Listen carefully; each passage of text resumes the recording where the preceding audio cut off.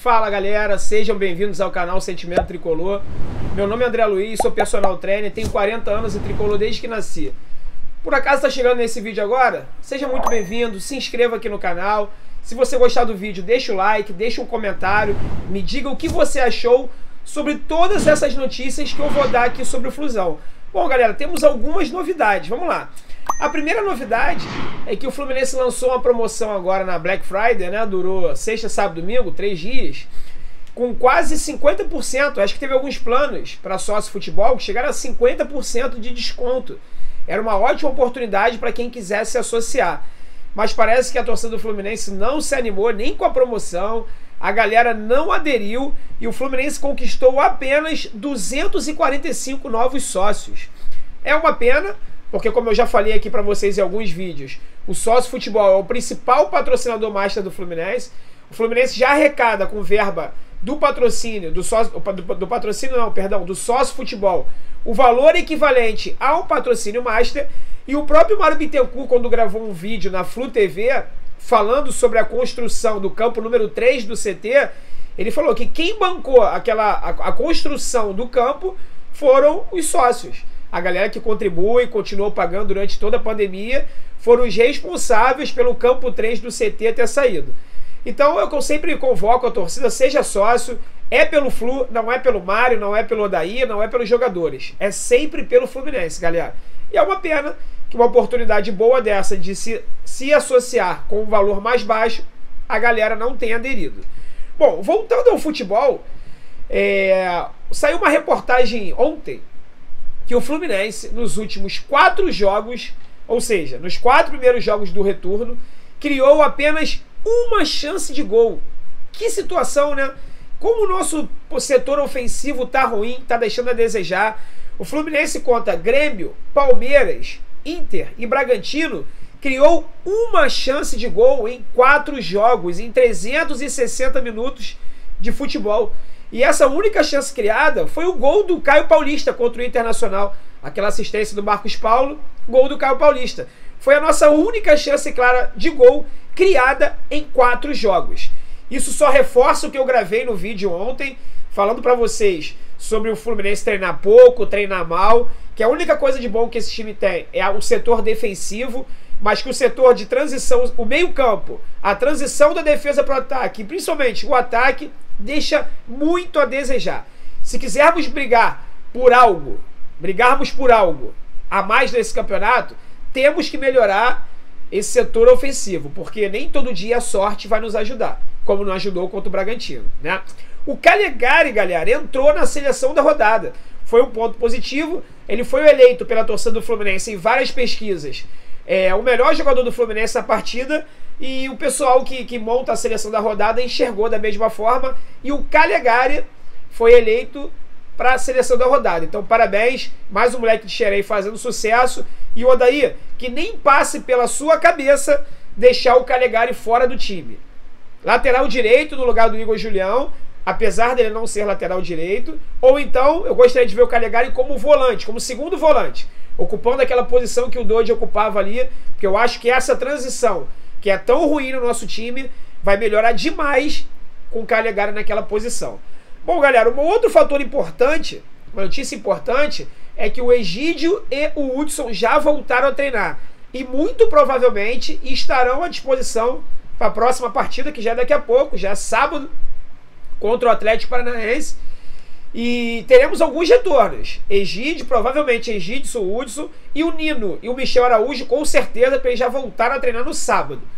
Então o time já, já estará menos desmantelado em relação ao jogo contra o Bragantino e poderemos ter novidades. O que, que você prefere? Egídio na esquerda ou Julião improvisado? Difícil, né? Deixa aqui nos comentários o que, que você prefere.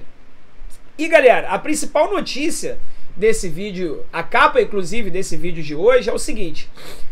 O nosso presidente Mário Bittencourt, ele foi diagnosticado com Covid. Diagnosticado com Covid. E vai ficar afastado pelo aquele período mínimo de 10 dias. O que que diz, é, deixa eu achar que eu anotei aqui para vocês, o capítulo 5, artigo 56 do Estatuto do Fluminense. Ó, vou colocar aqui na tela para vocês verem. O código, o capítulo 5 do artigo 56 do Estatuto do Fluminense diz que toda vez que o presidente precisar se ausentar por algum motivo, seja ele qual for, quem deverá assumir o clube é o vice-presidente geral. E quem é o vice-presidente geral do Fluminense? Doutor Celso Barros. Pois é. E agora? Será que o Celso Barros vai assumir? Busquei informações, averiguei e o que parece é que o Mário não vai estar no clube, mas vai estar trabalhando normalmente de casa. Aí eu pergunto para vocês, será que o Mário estaria descumprindo o estatuto? Porque ele está com Covid, ele vai se ausentar. Se precisar de alguma assinatura, algum funcionário do Fluminense vai ter que levar o documento para o Mário assinar, mas se ele está em isolamento, está em quarentena, ele não vai poder ter contato com ninguém, nem de máscara, de luva, de nada. Como é que vai fazer? O Fluminense vai ficar 10 dias sem ter nenhum documento assinado? Impossível, o clube não pode parar. E o próprio Celso Barros hoje, ele publicou no Instagram, no Facebook dele, falando. Quando eu vi o post dele, eu falei, pronto, ele vai falar que vai assumir o clube amanhã, né? Pelo menos por 10 dias. Mas não. Ele falou que o, Fluminense, que o Mário Bittencourt foi diagnosticado com Covid e que ele deseja é, pronta recuperação e que o presidente fique assintomático. Eu não entendi nada. Eu não entendo essa situação do Celso. Ele foi afastado de vice-presidente de futebol, mas ele, como vice-presidente geral, ele poderia estar participando de outras coisas do clube. Ele fica omisso, ele fica na dele ali. Vira e mexe, solta alguma nota lá nas redes sociais, mas. E hoje que eu achei que ele fosse se pronunciar, já que o estatuto diz isso, o Mário está afastado, ele está doente, ele não pode comandar o clube. Ah, mas eu faço reunião online de casa. Ok, pode fazer, não tem problema nenhum. Mas e assinatura de documento? Vai colocar algum funcionário do Fluminense em risco e levar esse documento na casa dele para ele assinar? Ou vamos ficar alguns dias sem, com tudo parado?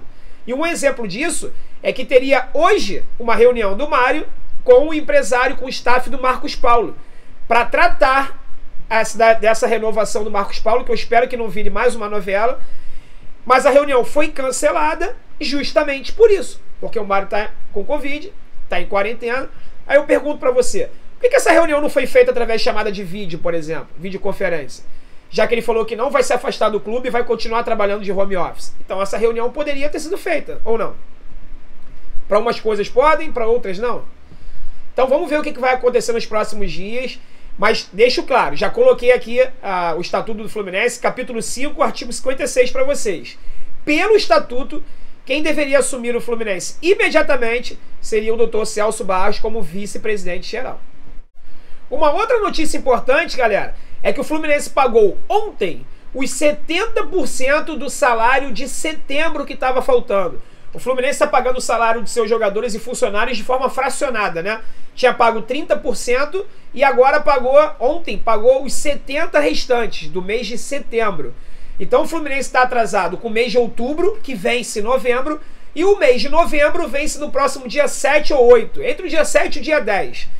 Então, provavelmente, nessa semana ainda, no final dessa semana, se o Fluminense não efetuar mais nenhum pagamento, completaremos dois meses de salário atrasado. Hoje está um mês e 20 dias, um mês e 20 e poucos dias atrasado com três meses de direito de imagem, um mês e meio de CLT e três meses de imagem.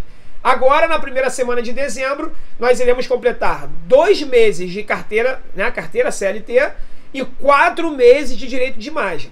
Lembrando, uma informação muito importante, que o Fluminense fez um acordo lá naqueles primeiros meses, abril, maio, junho, enquanto não estava tendo jogos de futebol, ele chegou a reduzir o salário desses jogadores até 50%, se não me engano. Teve um acordo, o Fluminense reduziu bastante.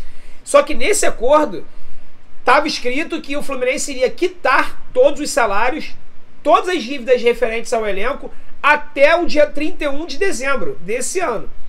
Caso isso não fosse feito, aquele desconto de 50% do salário dos atletas seriam retirados e o Fluminense teria que pagar de forma integral. Olha que isso vai aumentar em muito esse bolo. E eu já estou prevendo processos na justiça. O seu Dodge, por exemplo, saiu agora do Fluminense, ou melhor, está treinando afastado, está com salários atrasados. Vocês acham que a partir do dia 31 de dezembro, dia 1 de janeiro, quando ele meteu o pé para fora do Fluminense, ele não vai acionar o Fluminense na justiça? Então vamos torcer. Eu não sei nem de onde o Mário tirou esse dinheiro para pagar esse 70%, já que o Fluminense não tem receita nenhuma, não fechou novo patrocínio não tem, não vendeu nenhum jogador, a não ser que tenha recebido o dinheiro do Evanilson, do Gilberto, aquela grana do Wendel. Até agora não foi revelado nada. Vamos ficar atento aos próximos detalhes. Beleza, galera?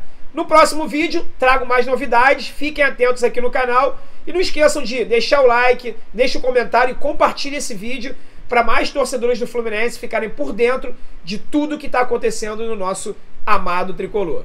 Um forte abraço, galera. Saudações tricolores.